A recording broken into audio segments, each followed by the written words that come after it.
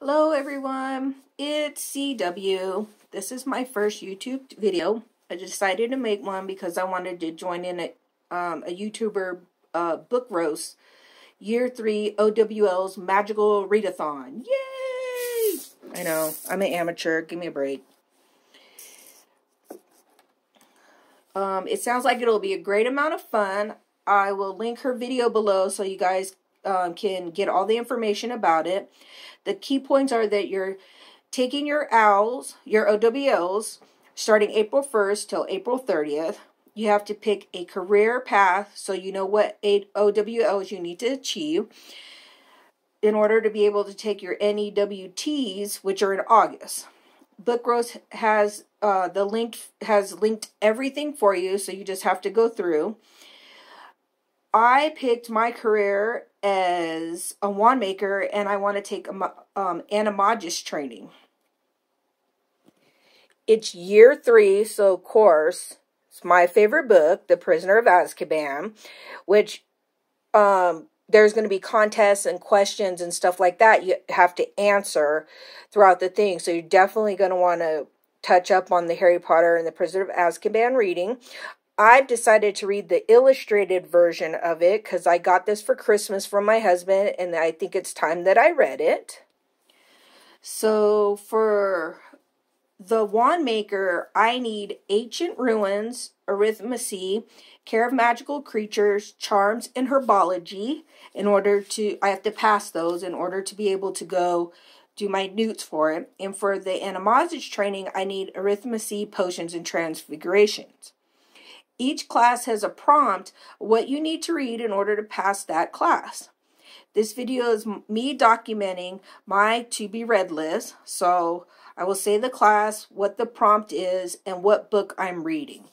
So I'm going to start with the very first book, which the very first one I need, which is Ancient Runes. And the prompt for Ancient Runes is it has to have a heart on the cover of the book or in the title. So I picked Hate, a Love Story by Lauren Ulin Curtis. Oh, I hope I didn't mess her name up. Um, I got this book at a convention, a book convention. It's a female, male, female love triangle. The back of the book doesn't give a lot of information, but I believe it's set in a high school. So but I went on Goodreads and the reviews are really good, and I figure it's probably about time that I read this book since I've had it now for a couple of years. So I, this is the first one I'm going to do. For arithmancy, it is read something outside of your favorite genre. Well, this one's kind of hard for me because I read a little bit of everything. So what I did was is I told my husband I had my husband pick the book out for me, and I'm going to read Robin Hobb's Shaman's Crossing. And this is, it's book one of the Soldier Son trilogy. And it's not a type of book that I would normally read, but it's something my husband loves to read. So I thought I would give it a chance since I needed to get out of my normal genre. So I was like, I told my husband, I was like, pick a book that you know I've never read before. Pick something for me to read, and this is what he picked. So this is um I'll be starting this. Care of Magical Creatures is a creature with a beak on the cover of the book. So I went searching through all my books, and the only one I found was this Harry Potter and the Order of the Phoenix. This is actually the version of the book that's it's the British version of the book. So I've never read this one before. I picked it up at Savers because I thought the cover was like really pretty and stuff. And then I found it afterwards. So this one will actually be a lot of fun to read because I'm to be there's going to be words in it that I don't know what they mean because they're going to mean something totally different overseas than they do in the United States. But I don't care. I still want to do it. So this is my uh, Care of Magical Creatures. For charms, it had to be a book with a white cover. So for charms, I picked the, the Scene by R.M. Gilmore. Now this I got at a book convention also. I picked up the whole series, but I haven't sat down and read it all the way through. So this series is about uh, Dylan Hart. She's a 20-something journalist that she's not your typical heroine. She got a big butt and a big mouth. She cusses. She is searching for who's draining women of their blood in L.A., um, the media has dubbed it the Vampire Massacre. These are not Twilight vampires. That's why it says these are not your daughter's vampires. This one I think is going to be fun to read. And I really can't wait to start it because once I get this one done, I can read the rest of the series, which I haven't had the time to read it because of work and stuff. But now that we're at home, I think I'll finally be able to read this series. And I think it's going to be a lot of fun. For herbology, the title starts with an M. I had two books to choose from in my house that had started with an M, and I chose to go with this one um, called um, Makeup or Breakup by Kate Welshman. It's a choose your own ever after book.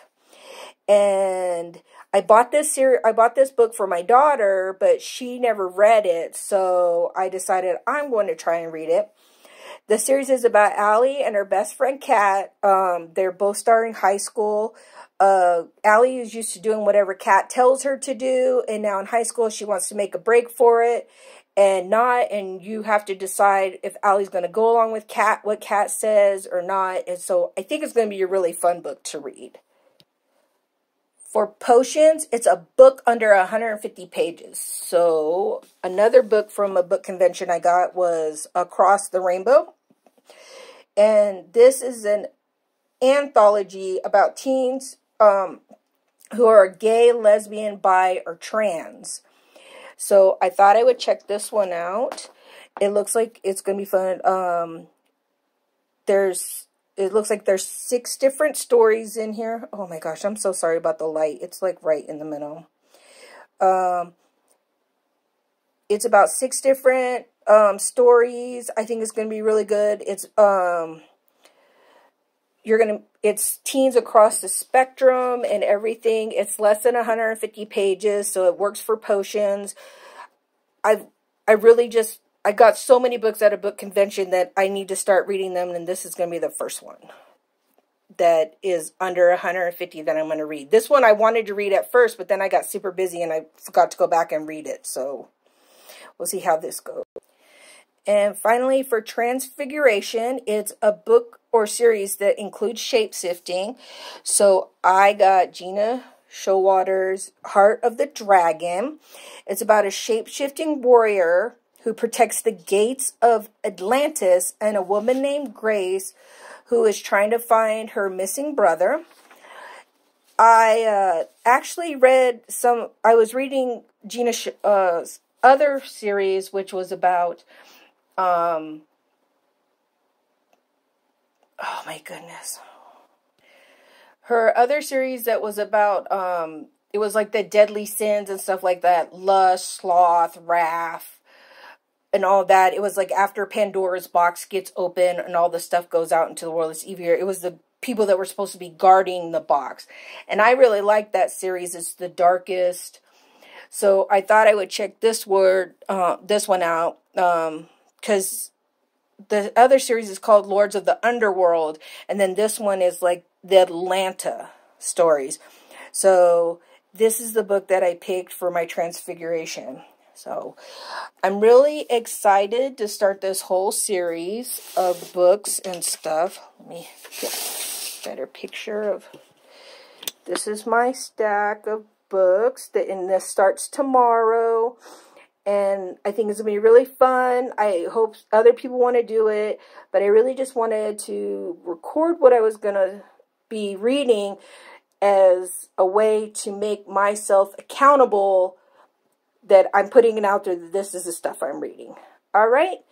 And I will talk to you guys later.